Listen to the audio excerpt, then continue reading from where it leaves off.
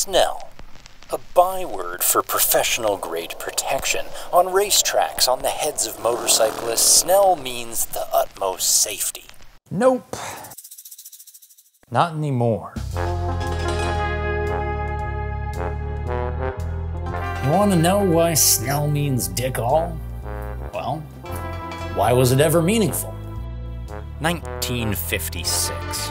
Race car ace William Snell dies from a tip over, hence the establishment of the Snell Memorial Foundation, a non-profit whose only prerogative is to certify safer helmets to prevent tragedies. See, without Snell, we're stuck with the Department of Transportation. DOT allows a 6 meter per second anvil to bash 400 Gs into your skull. The only word for a standard like that is deadly. 400 Gs can kill you. So Snell says, golly, how about a 7.75 meter per second drop? And what if we don't hit it once, but twice? With no more than 275 Gs on either impact? Yep. Not saying to just save your life, kid, but I did. And Snell's hard boiled helmets do save lives in cars. If I got a four point harness holding me here, a headrest here, a roll bar here, it's damn likely my head will go crack, crack, crack, crack on the same spots over and over. Eh, Snell's multiple impact tests make sense here. The downside of such a standard is that your helmet needs to be that hard to pass it. A peach in a cocktail shaker, it's only wise for massive impacts. Because in a tumble, the hard shell sends all those little knocks straight to your brain. Of course, if you're suspended in a steel bubble, who gives a shit about little knocks? Motorcyclists. We care because in a bike crash, you're less likely to see huge identical impacts and more likely to see various little hits. We have ex Snell director James Newman on record. If you want to create a realistic helmet standard, you don't go bashing helmets onto hemispherical steel balls, and you certainly don't do it twice. People falling off motorcycles hardly ever, ever hit their head in the same place twice, so we have helmets that are designed to withstand two hits at the same site, but in doing so, we have severely, severely compromised their ability to absorb energy properly. You imagine your motorcycle crash as a fast, violent trauma. But statistically, that never happens, and when it does, Mr. Armstrong has three other fatal injuries, so his helmet is hardly relevant. Most survivable accidents involve some braking, an ejection, then a slow tumble, exactly where Snell's hard fortresses do more harm. Take it from expert witness Dr. Hurt. Helmet designs should be softer, softer, softer, because people are wearing these so called high performance helmets and are getting diffuse brain injuries. Oof, quite the black eye for Snell. Of course, it turned out worse for the journalist who published this expose. Dexter Ford was fired for his trouble. Conspiracy?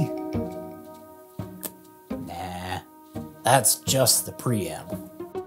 Snell softens up a bit in 2010, but stays mostly bullheaded, to this day thinking in one dimension, banging their helmet straight against the wall.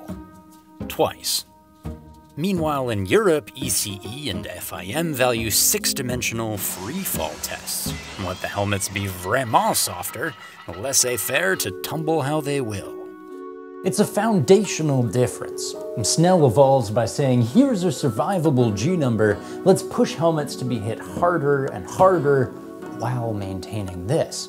Whereas FIM is dragging ECE down another path, saying, here's a realistic crash, let's push helmets to handle it with lower and lower transmission numbers.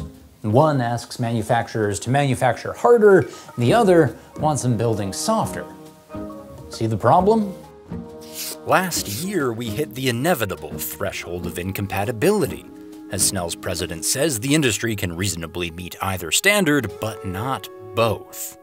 This is the first in a pissy exchange of letters which went something like this. Hey, Kami, your softy standard is freaking impossible for our helmets. Dommage. They are hard helmets are so 1972.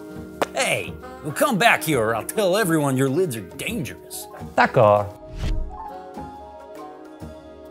Now, Snell is trapped, like a fish in a shot glass. They've publicly stated their opinion that overseas helmets are unsafe and incompatible with Snell, but Europe is the biggest market. Most helmets will be made for ECE. Snell's shelf presence risks going from this to this. So, what does Snell do? They slice their soul in half. That's right. There are two ways to get a Snell sticker. M2020D is the hard old double drop. I think it's wrong, but at least Snell thinks it's right because M2020R is a half height hurdle that no one has faith in. Well, for Europe, it lacks all the rotational criteria that their idea of tumbling safety is built on, and for Snell, it's obviously too soft. Now, what the hell is the point of a double standard? Snell's executive director admits that M2020R is based on a brutal arithmetic that allows an increase in risk in order to gain access to regions where ECE headgear are required. Of course, Snell maintains it's still an improvement, but their president put the main point bluntly. M2020R has been formulated to assure compliance with FIM and ECE. Does a standard whose function is to pass another standard serve any function at all? It's less about my safety and more about getting Snell's sticker into Europe. Their own directors admit that certain provisions of M2020R are of little use in evaluating helmet protective capability, but serve to assure compliance with ECE and FIM. What? Whether you think Europe or America has it right, we can all agree that's messed up. In a game of trusting names, I need to see this and know that Snell fully believes in it. But instead, they hid duplicitous shit in the fine print. Maybe my Snell lid is the kind they designed to keep my brain safest, or maybe it's the kind they designed to keep their names safely on the shelves. And now the real killer is that Snell allowed either standard to ship with the same label something they justified in the interests of fairness. Fair to who?